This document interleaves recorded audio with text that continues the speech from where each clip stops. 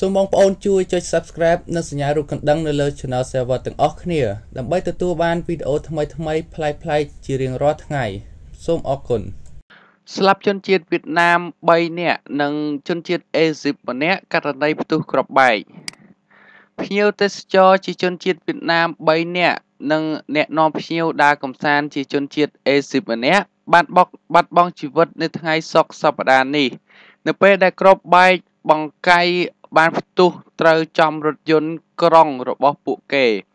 ខណៈដែលកំពុងតែធ្វើការធ្វើដំណើរនៅក្បែរនឹងតំបន់ប្រាសាទពីរ៉ាមីតនៃសង្កាត់ Giza នៅជាយក្រុងកែននៃប្រទេសអេស៊ីប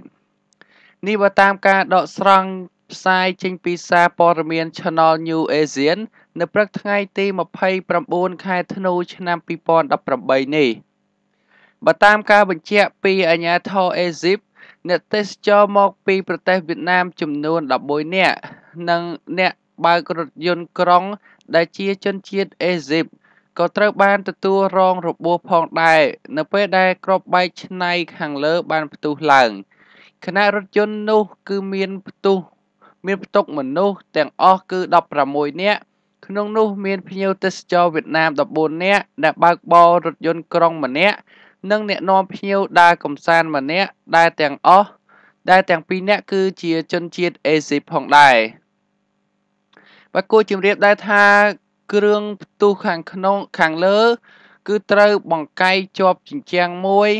និងតាមបណ្ដោយផ្លូវម៉ារីយ៉ូទីយ៉ានៅក្នុងសង្កាត់អាល់ហារ៉ាម ក្បែរតំបន់ប្រាសាទពីរ៉ាមីតហ្គីហ្សា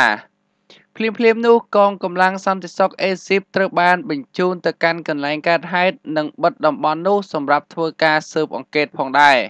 បាទនេះគឺជាករណីផ្ទុះក្របបែកនៅឯអេស៊ីបចិត្តឯប្រាសាទពីរ៉ាមីតបាទដែលធ្វើឲ្យជនជាតិវៀតណាម3នាក់ត្រូវបានស្លាប់និងជនជាតិអេស៊ីបរបស់ខ្លួនឯងម្នាក់ត្រូវបានស្លាប់ផងដែរ បាទអករណីនេះយើងមិនទាន់ដឹងថាជាករណីភេរវកម្មក៏ជាករណីបែបណាទេ គឺយើងមិនទាន់ដឹងច្បាស់ទេបើសិនជាមានព័ត៌មានអាប់ដេតបន្ថែមខ្ញុំបាទនឹងលើកយកឲ្យប្រិយមិត្តតាមដានបន្តទៀតផងដែរបាទពេលនេះខ្ញុំបាទក៏សូមបញ្ចប់អត្ថបទទី1ត្រឹមប៉ុណ្នេះក៏បង្វែរអារម្មណ៍ប្រិយមិត្តទាំងអស់មកតាមដាននៅព័ត៌មានទី2វិញម្ដងបាទព័ត៌មានទី2គឺមានចំណងជើងថាអត្ថបទគួរពិចារណា ហេតុអ្វីធម្មជាតិបង្កើតមនុស្សឲ្យមានភ្នែកពីរត្រចៀកពីរមាត់តែមួយយើងដឹងហើយថាមនុស្សមានកាយវិញ្ញាណចំនួន5ដូចជាសម្រាប់មើល ស្រង់ក្លិន ស្រង់រសជាតិប៉ះពាល់ហើយនិងសម្រាប់ស្ដាប់ ក្នុងនោះតកតងទៅនឹងវិញ្ញាណសម្រាប់មើលពីធម្មជាតិបង្កើតភ្នែកឲ្យមនុស្សពីរហើយក៏ដើម្បីស្ដាប់ ពីធម្មជាតិគឺបង្កើតត្រចៀកឲ្យមនុស្សពីរដែរ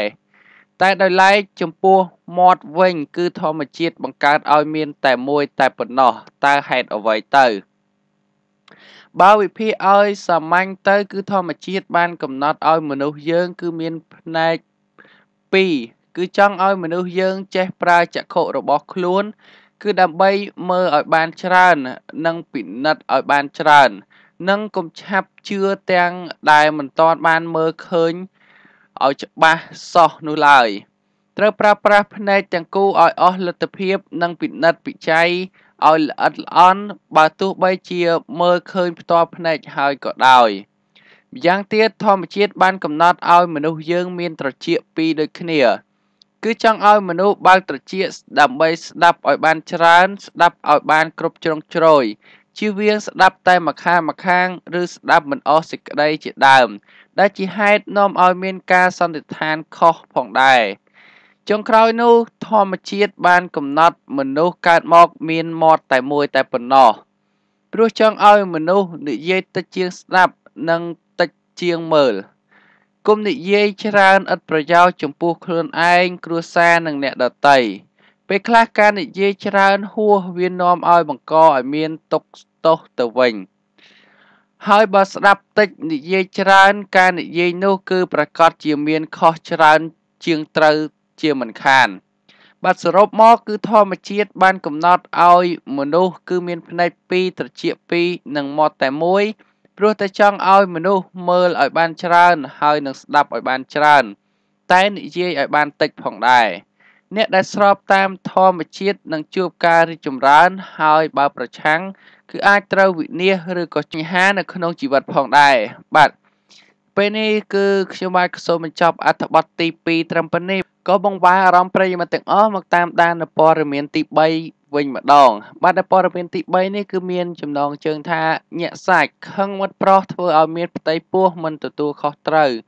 នារីម្នាក់ក៏ចុចចុចចុចបាទចង់ដឹងថាយ៉ាងណាយើងទៅតាមដានទាំងអស់គ្នានារីម្នាក់ព្រោះតែរូបរាងមិនស្អាតត្រូវបានប្តីរបស់នាងបោះបង់ចោលទើបធ្វើឲ្យនាងឈឺចិត្តស្អិតទ្រង់ក៏សម្រេចចិត្តវះកាត់កែសម្ផស្សតែម្ដង រហូតទទួលបានមុខមាត់ថ្មីស្អាតដូចជាតារាម៉ូដែលដូច្នោះនារីមេម៉ាយខាងលើមានឈ្មោះថាហុយយ៉ែនអាយុ28ឆ្នាំរស់នៅទីក្រុងហូជីមីងប្រទេសវៀតណាម ហើយព្រោះតែការផ្លាស់ប្ដូរនេះធ្វើឲ្យអ្នកដែលស្គាល់នាងជាច្រើនអ្នកភ្ញាក់ផ្អើលយ៉ាងខ្លាំងផងដែរ បើតាមប្រភពព័ត៌មានផ្សេងទៀតបានឲ្យដឹងថា តាមពិតហ៊ូយ៉ែនគឺបានជ្រុលខ្លួនប្រានមានផ្ទៃពោះជាមួយនឹងមិត្តប្រុសរបស់នាងប៉ុន្តែនាងមិនបានដឹងខ្លួនឡើយ រហូតដល់ថ្ងៃដែលមិត្តប្រុសនាងបានបោះបង់នាងចោលទើបនាងដឹងថាខ្លួនមានផ្ទៃពោះហើយមានអារម្មណ៍ឈឺចាប់យ៉ាងខ្លាំងនិងសម្រេចចិត្តរស់នៅតែអ្នកម្នាក់ឯងមិនយកគូតទៅទៀត យ៉ាងណាមិញដោយសារតែដឹងថាមិត្តប្រុសបោះបង់ខ្លួនព្រោះតែរូបរាងខ្លួនមិនស្អាតទើបនាងបានវះកាត់កែសម្ផស្សគឺដោយចាយលុយអស់ជាង4000ដុល្លារហើយក៏ទទួលបានលទ្ធផលស្ទើរមិនគួរឲ្យជឿហូយ៉ែនខ្លាចជាអ្នកម្ដាយម្នាក់ដែលមានរូបសម្រស់ស្អាតនិងសិចស៊ីប្រៀបដូចជាតារាម៉ូដែលដូច្នោះដែរ បាទនេះគឺជាព័ត៌មានតកតងជាមួយនឹងស្ត្រីវៀតណាមម្នាក់ដែលខឹងសង្សារខ្លួនដែលរត់ចោលខ្លួនព្រោះតែខ្លួនមិនស្អាតហើយក៏បានតកែសម្ផស្សឲ្យស្អាតដូចជាតារាដូច្នោះដែរបាទពេលនេះខ្ញុំបាទក៏សូមបញ្ចប់អត្ថបទទី3ត្រឹមប៉ុណ្នេះក៏បង្វែរអារម្មណ៍ប្រិយមិត្តទាំងអស់មកតាមដាននៅព័ត៌មានទី4ដែលជាព័ត៌មានបញ្ចប់វិញម្ដងបាទដែលព័ត៌មានទី4នោះគឺមានចំណងជើងថាបរោះ ចាស់ពិការម្នាក់គឺដើរកាន់ចង្គៀងបំភ្លឺពេលយប់ ស្រាប់តែត្រូវគេសោចំអក ដល់គាត់តបវិញ គឺបាត់មាត់គ្រប់គ្នាតែម្ដង បាទថ្ងៃនេះ Channel 7ក៏សូមបន្តលើករឿងនិទានដែល បង្កប់អត្ថន័យអប់រំចិត្តមានប្រយោជន៍នៅក្នុងជីវភាពជីវិតប្រចាំថ្ងៃមកជូនប្រិយមិត្តទាំងអស់គ្នាផងដែរមានបរោះចំណាស់ម្នាក់រស់នៅក្នុងភូមិមួយដោយគ្មានកូនចៅថែទាំ ហើយថែមទាំងពិការភ្នែកទាំងសងខាងមើលអ្វីពុំឃើញទៀតក៏ប៉ុន្តែគ្រប់គ្នាហាក់បីដូចជាចម្លែកចិត្តព្រោះគាត់ទៅណាមកណាតែងតែកាន់ចង្គៀងមួយជាប់ខ្លួន ដើម្បីបំភ្លឺនៅពេលយប់បើទោះបីជាខ្លួនគាត់មើលអ្វីមិនឃើញក្តីនៅយប់មួយខណៈពេលដែលគាត់បានធ្វើដំណើរតាមដងផ្លូវដោយកាន់ចង្គៀងដោយសពមួយដងគាត់ក៏បានដើរកាត់ក្រុមស្ទាវក្មេងៗមួយក្រុម ពួកគេឃើញគាត់សឹងតែរាល់ថ្ងៃ តែថ្ងៃនេះពួកគេទ្រាំលែងបានក៏សួរគាត់ក្នុងន័យចំអកដកលើយថាយីតាចាស់តើតឯងពិការទាំងភ្នែកទាំងសងខាង មើលអ្វីមិនឃើញផងហេតុអ្វីចាំបាច់កាន់ចង្គៀងរាល់ជប់អញ្ចឹង ឬក៏ចង់សាក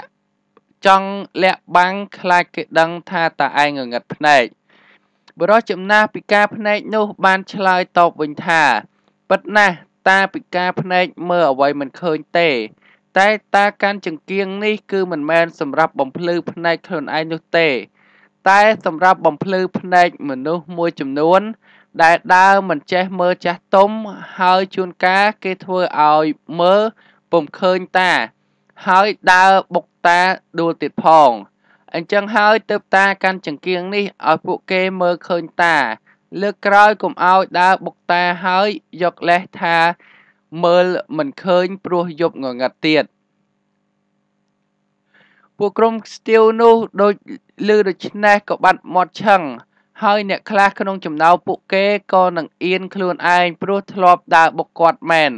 ហើយពេលខ្លះច្រានគាត់ឲ្យដួលទៀត ដែលមានន័យថាខ្លួនឯងមានផ្នែកភ្លឺតែមិនខុសអីពីមនុស្សខ្វាក់តម្លៃអប់រំនៃរឿងនេះគឺចង់បង្ហាញឲ្យឃើញថាការប៉ັດរូបរាងកាយគឺមិនមែនជាអ្វីដែលគួរឲ្យខ្មាស់អៀននោះឡើយព្រោះវាជារឿងដែលយើងមិនអាចគ្រប់គ្រងបាន តែគួរតែត្រូវបានគេអាណិតអាសូរទៅវិញផ្ទុយទៅវិញការពិការចិត្តឬក៏ពិការចរិយាមាយាទ ជាយ៉ាងដូចជាមានភ្នែកភ្លើតែបែរជាដើរបុកអ្នកដែលពិការភ្នែក នោះគឺជាទង្វើដ៏គួរឲ្យខ្មាស់អៀនបំផុតទៅហើយ